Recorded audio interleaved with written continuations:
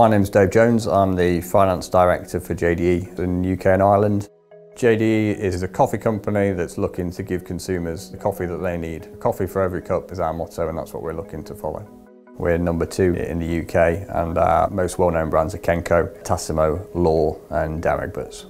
I'm the finance director of the retail business. I am looking to manage our sales and our profit and our cash. Coffee is a very popular product. It's getting more and more popular. We're expecting coffee to grow and we're expecting to grow within there with our new innovations, our new products. Cash is right at the top of our priority list. It's key for us in terms of how we can invest behind our brands and also it's key for the business globally. We're always looking for anything that can improve our cash flow and we've been working with C2FO for about a year. We first heard about it through one of the customers. We heard about it through Amazon. We had a look at the platform there and thought, actually, this is going to work really well for us. We wanted to use it straight away. The C2FO process is, is really simple to use. It's a web-based application. The team can go into that whenever they want and they will look at the customers that are participating. They will look at the invoices and if they decide we want to take that invoice today, they will switch on that account and we will then know that that money is going to appear in our account maybe the next day or in, in a few days depending on the customer.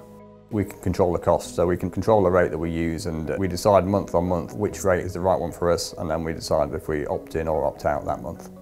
C2FO seems to work for both sides because they're choosing when they want to use C2FO and we're choosing when we want to use C2FO and it certainly takes any of those difficult conversations off the table.